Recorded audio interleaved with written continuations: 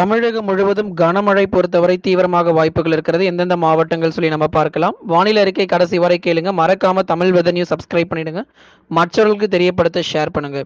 தமிழக பகுதிகளில் மேல் நிலவும் வளிமண்டல கீழடுக்கு சுழற்சி மற்றும் வெப்பசலனம் காரணமாக கனமழையானது பதிவாக வாய்ப்புகள் இருக்கிறது. ஏற்கனவே தமிழகத்தில் பல்வேறு மாவட்டங்களில் கனமழை பொறுத்தவரை கொட்டி தீர்த்து வருகிறது. அதைத் தொடர்ந்து அடுத்து வரக்கூடிய நாற்பத்தெட்டு மணி நேரத்திற்கும் தமிழகத்தில் பெரும்பாலான மாவட்டங்களில் கனமழையானது கொட்டி தீர்க்கும். இன்று மாலை மற்றும் இரவு நேரங்களில் தமிழகத்தில் பெரும்பாலான மாவட்டங்களில் மிதமானது முதல் கனமழை வரை பெய்யும். வட தமிழக உள் மாவட்டங்கள் டெல்டா மாவட்டங்கள் தென் தமிழகம் மேற்கு தொடர்ச்சி மலையொட்டிய மாவட்டங்கள் மற்றும் வட தமிழக கடலோர மாவட்டத்திலும் இன்று மீண்டுமாகவே மாலை மற்றும் இரவு நேரங்களில் கனமழை தீவிரமாக வாய்ப்புகள் அதிகம் இருக்கிறது.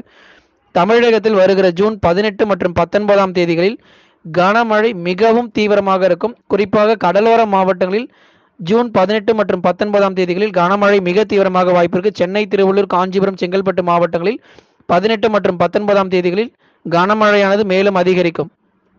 கடந்த இருபத்தி நான்கு மணி நேரத்தில் தமிழகத்தில் பெய்த மழையளவு பெரம்பலூர் பதினோரு சென்டிமீட்டர் கள்ளக்குறிச்சி ஏழு சென்டிமீட்டர் திருப்பத்தூர் ஏழு சென்டிமீட்டர் சேலம் ஆறு சென்டிமீட்டர் ஈரோடு ஆறு சென்டிமீட்டர் திண்டுக்கல் ஆறு சென்டிமீட்டர் தருமபுரி ஐந்து சென்டிமீட்டர் கிருஷ்ணகிரி ஐந்து சென்டிமீட்டர் திருச்சி ஐந்து சென்டிமீட்டர் திருவண்ணாமலை நான்கு சென்டிமீட்டர் கள்ளக்குறிச்சி மூன்று சென்டிமீட்டர் வேலூர் மூன்று சென்டிமீட்டர் திருப்பத்தூர் இரண்டு சென்டிமீட்டர் நாமக்கல் இரண்டு சென்டிமீட்டர் கடலூர் ஒரு சென்டிமீட்டர் மற்றும் கோயம்புத்தூரில் ஒரு சென்டிமீட்டர் மழை பதிவாகியிருக்கிறது.